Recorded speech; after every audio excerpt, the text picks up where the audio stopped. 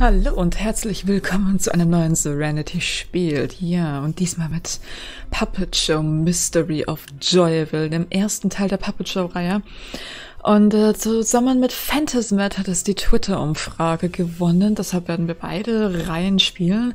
Wir werden uns aber zuerst der Puppet Show-Reihe widmen, da ich die Phantasmat-Teile zum Großteil bereits kenne. Von Puppet Show habe ich allerdings nur zwei Teile mittendrin irgendwo gespielt. Und das ist Jahre her und ich weiß nichts mehr von diesen Teilen. Und Mystery of Joyville ist der allererste, den kenne ich noch gar nicht. Von daher wird das auch äh, für mich eine Premiere hier werden und ich habe keine Ahnung, wie schwer das Game wird. Und äh, nur als kurzer Hinweis, das, was ihr hier jetzt seht, dieses ganze Video, das seht ihr im richtigen Format. Deshalb bin ich auch ähm, rechts und habe unter mir einen schwarzen Balken, weil das Game wirklich so alt ist, dass man damals auch kein Breitbild kannte. Ihr habt das Ganze richtig auf YouTube, das äh, hat OBS richtig gecaptured. Ich hingegen habe das Ganze breit gezogen, deshalb sieht für mich alles ein bisschen unscharf aus und äh, mein Mauspfeil ist auch ein bisschen, ups, ja, verhält sich auch ein bisschen merkwürdig. Mal sehen, wie sich das gleich hier auswirken wird auf unser Gameplay. Ich würde allerdings mal sagen, ich halte mal die Klappe und wir starten mal das Spiel und lassen uns entführen nach Joyville.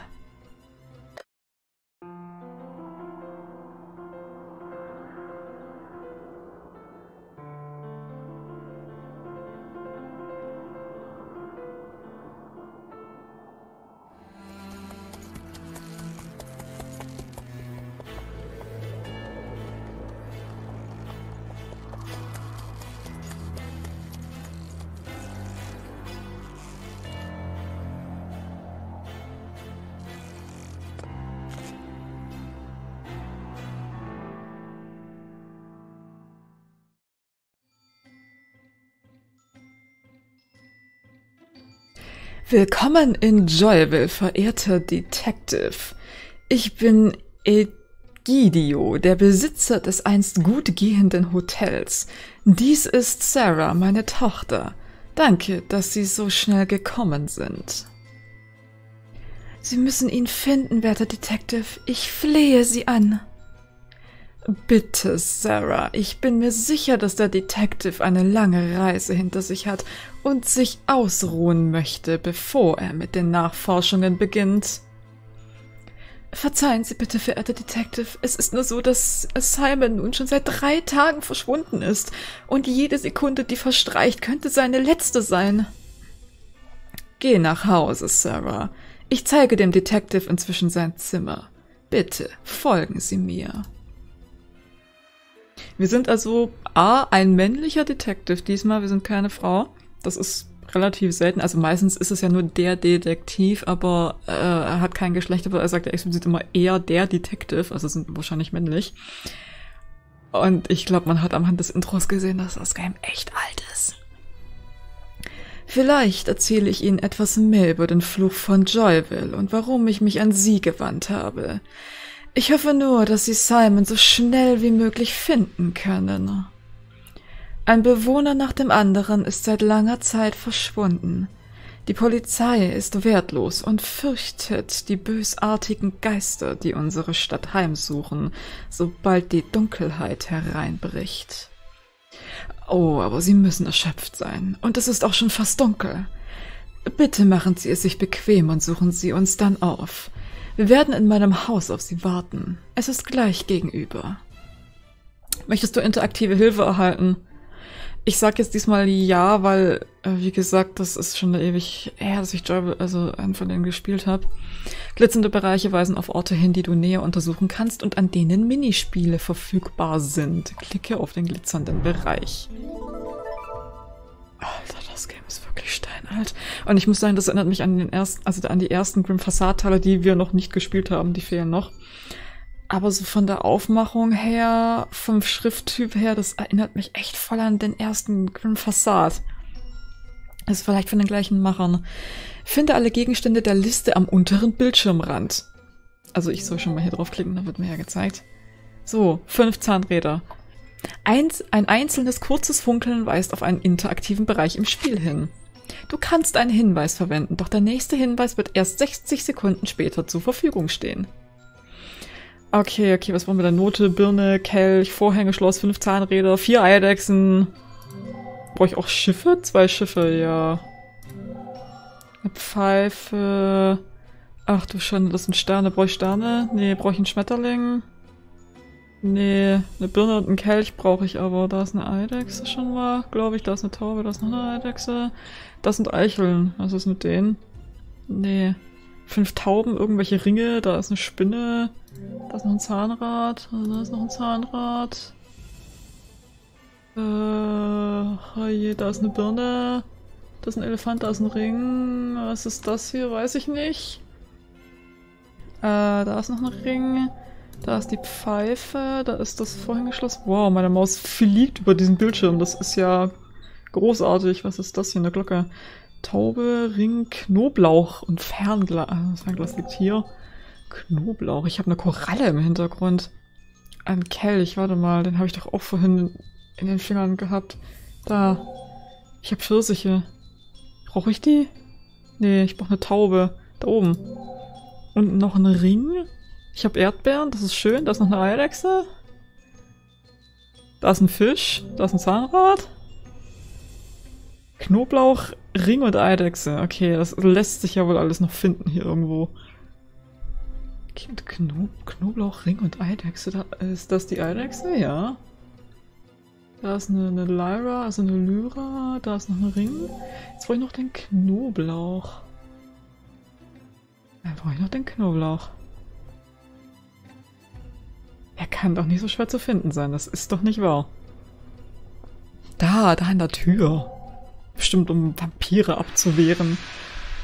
Boah, ist das laut. Okay. Gut gemacht. Du hast folgendes gefunden. Einige Zahnräder. Sie könnten sich als nützlich erweisen. In diesem vergrößerten Bereich findest du hilfreiche Informationen, Gegenstände für dein Inventar und Rätsel.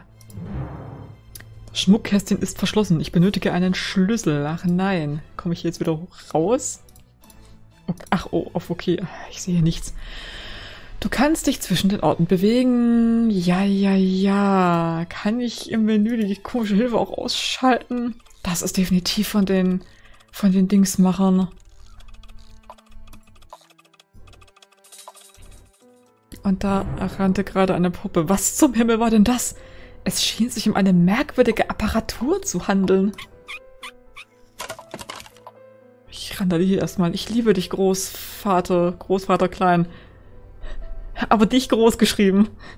Simon, dein Enkel. Ist da noch was drin? Nö, nur, nur das. Okay, okay, da ist nur das drin. Das ist definitiv in den Grim Facade machen. Das hat man, hat man gerade an, an dem Pfeil gesehen. Anscheinend malt Simon ganz. Äh, Moment, das ist mir gerade immer noch ein bisschen zu laut. Optionen, Soundeffekte mal ein bisschen runter.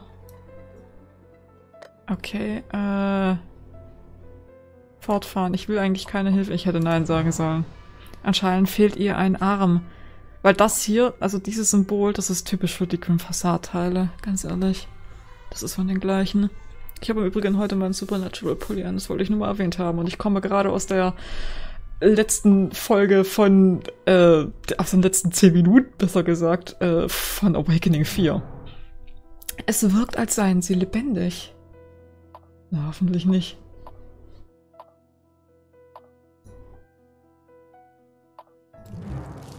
Es ist offensichtlich, dass sich hier niemand für längere Zeit aufgehalten hat.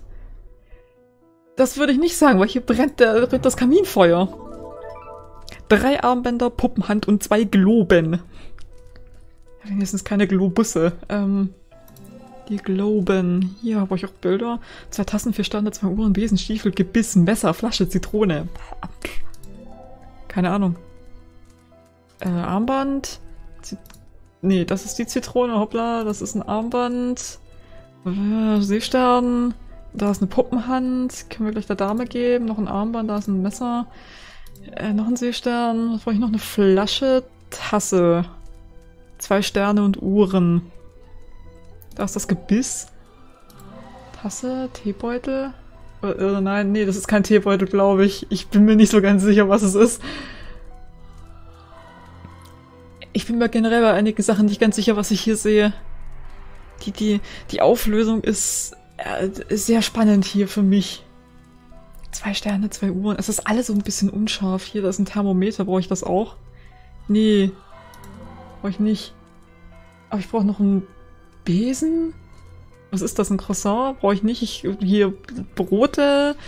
Da so ein... Äh, hier Zigarre. Was ist das da? Weiß keiner, gehört hier dazu. Da ist der Besen. Äh, noch, noch ein Glo Globus dahinter? Nee, da ein Bügeleisen. Zwei Ohren, zwei Sterne. Da, ist das die? Wow, das ist ja sehr gut versteckt hier. Da muss man wirklich in die Ecken schauen. Was ist das hier eigentlich? Keine Ahnung, das weiß kein Mensch, was das da darstellt. Aber da ist noch ein Stern. Und noch undefinierbare Dinge. Ich glaube, das... Äh, was ist denn das, eine Zange? Ich bin mir gar nicht sicher. Ein Stern und ein Globus. Fehlt noch. Das kann doch nicht so schwer sein, das zu finden. Da hinten der Riesenglobus.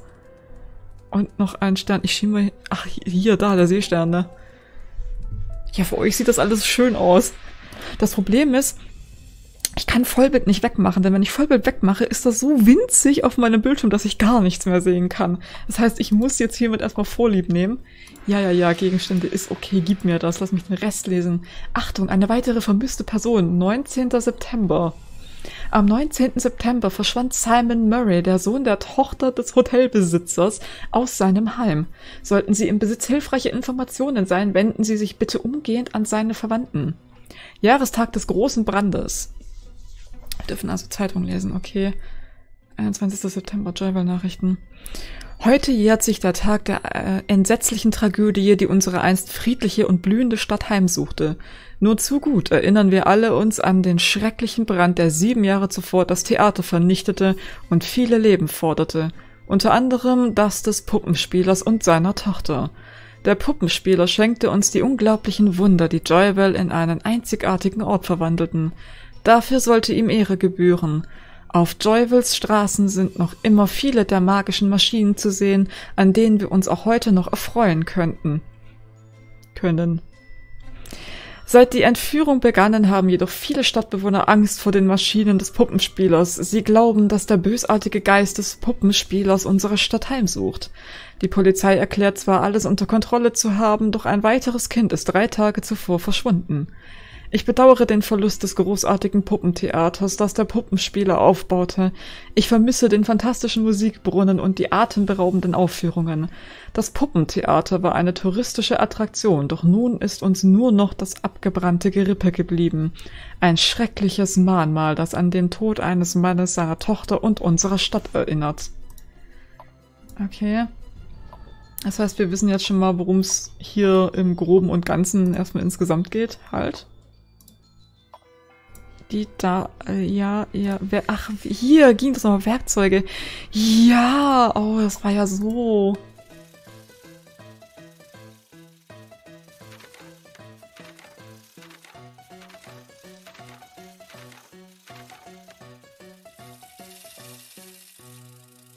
Das ist gar nicht creepy. Rettet uns. Öffnet das Schloss. Rette, äh, rette uns. Notenblatt, das könnte sich als nützlich erweisen. Stimmt, hier gab es ja kein Inventar, hier gab es ja das hier. Schlüssel zum Schmuckkästchen, Notenblatt, einige Zahnräder. Ja, so war das doch. Werkzeuge. Und ich weiß, dass ich in einem Teil mein geliebtes Brecheisen dabei hatte und das wirklich dauerhaft dabei war. Einige Gewichte. Nun kann ich ins Haus gegenübergehen und mein Gespräch mit dem Hotelbesitzer äh, Egidio fortführen, aber erstmal das da. Es ist solch ein gut. Er ist solch ein guter Junge. Warum musste er verschwinden? Ich habe keine Ahnung. Da sehen wir noch Spinnenweben. Ich kann es ihnen nicht verdenken. Putzen wäre das Letzte, wonach mir in diesen Zeiten der Sinn stünde. Ja, hier auch. Also man kann sich einige Sachen ansehen, die allerdings auch nicht von Bedeutung sind, nehme ich an. Die haben extra die Tür für mich offen gelassen. Ist das nett? Willkommen. Bitte entschuldigen Sie unseren plötzlichen Aufbruch, verehrter Detective. Sehen Sie, es gibt Gerüchte über Geister in Joyville. Doch ich fürchte, dass diese Gerüchte der Wahrheit entsprechen. Bitte verurteilen Sie uns nicht, werter Detective. Jeder Bewohner der Stadt bleibt nach Sonnenuntergang im Haus. Sie alle haben Angst, dass sie entführt werden. Wie mein Simon und die anderen. Daran ist nur das verfluchte Puppentheater schuld. Der Puppenspieler hat diesen Fluch über unsere Stadt gebracht. Viele Jahre zuvor ist ein einfacher Puppenspieler nach Joyville gezogen. Er erbaute ein Puppentheater, so dass wir alle uns an seinen Puppenaufführungen erfreuen konnten. Mechanische Puppen agierten auf der Bühne, als handele es sich um lebendige Schauspieler. Es war beeindruckend. Von überall her kamen Besucher, um die Aufführung zu sehen. Bald darauf begann der Puppenspieler seine Apparaturen überall in der Stadt aufzubauen. Joyville wurde zu einer großen Touristenattraktion, einem Zentrum der Künste. Jedermann war sehr glücklich bis der Brand. Während einer der Aufführungen geriet das Theater in Brand.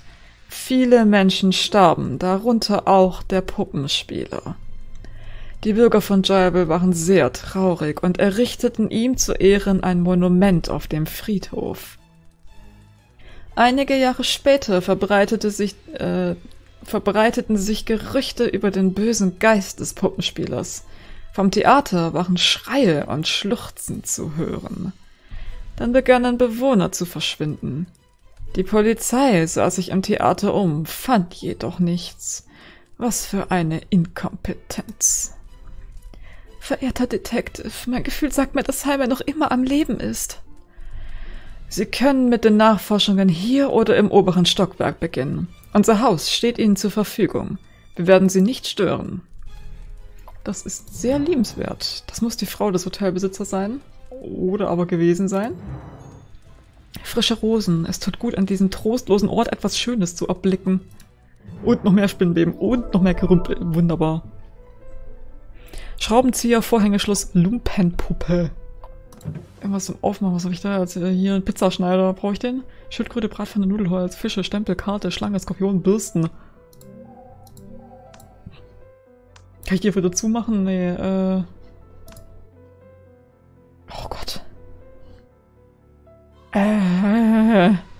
Schraubenzieher. Das ist, glaube ich, eine Maus. Brauche ich die Maus? Brauche ich die Maus? Brauche ich die Maus? Nein, ich brauche einen Skorpion und eine Schlange. Das ist ein Fisch. Einen Fisch brauche ich aber. Da ist eine Motte, da ist ein Dino. Da hängt ein Fisch, da ist ein Messer. Da ist kein Messer. Ich brauche kein Messer. Lumpenpuppe hier. Schlüssel, da ist eine Bürste, da ist noch eine Bürste, da ist ein Korkenzieher. Ich brauche aber einen Schraubenzieher. Das ist wahrscheinlich das krumme Ding hier auf dem Boden. Eine Karte. Ah, ich sehe einen Scheiß hier in diesen Bildern. Das ist, das ist ganz grandios. Das müsste ein Skorpion sein. Das ist eine Rose. Brauche ich die? Nein. Aber eine Bratpfanne. Eine Bratpfanne wird ja wohl noch zu finden sein. Die ist doch groß genug, dass man die sieht. Da ist eine helle Bade und ein Besen und ein Seil und... Da hier, die Bratpfanne, da unten in die Schublade, passt rein. Ein Teleskop, brauche ich das auch? Nee, zwei Bürsten. Da ist noch eine. Da ist eine Schildkröte, da oben ist die andere Bürste, hier ist ein Schlüssel, das brauche ich aber gar nicht. Eine Karte. Da ist die Schlange. Da ist ein Anker. Karte, Fisch und Nudelholz. Da ist die Karte, okay. Fisch und Nudelholz. Nudelholz. Da ist eine Spinne. Hier sind überall Spinnen. Das ist... Da, hier Fisch. Ich setze mich mal wieder gerade hin. Gut gemacht. Ich habe gefunden Schraubenzieher. Ich glaube, ich bin hier, hier noch nicht fertig. Okay. Ich bin hier noch nicht fertig, behauptet er. Es ist bereits dunkel. Okay, das war nur der Hinweis. Oh, noch mehr Gemülle. Vier Vorhänge, Schlösser, ein Sonnenschirm, drei Handschuhe. Handschuhe. Äh, Sonnenschirm, Handschuh. Eine Haube, ein Schloss, eine Ente. Brauche ich eine Ente? Äh, Ente, tatsächlich. Und eine Figur. Das ist wahrscheinlich die im Fenster. Ein Telefon. Brauche ich auch Schuhe? Nein, ich brauche einen Papagei und eine Ölkanne noch, hier ist ein Hut. Da ist eine Maske, zwei Vorhängeschlösser, ein Besen. Äh, da Besen. Da ist eine Quaste, da ist ein Hut. Ist das noch ein Vorhängeschloss? Das ist noch eins. Jetzt brauche ich trotzdem noch eines. Jetzt keins mehr. Aber noch ein Handschuh. Irgendwo her. Da ist ein normaler Schuh, ein Bügeleisen, ne? Also Gott sei Dank. Äh, Fisch. Äh, ein äh, Papagei. Ich würde sagen Chamäleon. Nee, danke. Äh, fast. Beinahe. Eine Ölkanne. Da? Hier? Nein. Was ist das? Äh, auch nicht. Äh, würde ich schon finden. Ölkännchen wird ja wohl... Da. Ein Telefon. Äh, mitten, mitten im Bild. Der Teddy ist hier. Und jetzt brauche ich noch einen Handschuh. Einen Handschuh. einen Handschuh. Da. Oh Gott.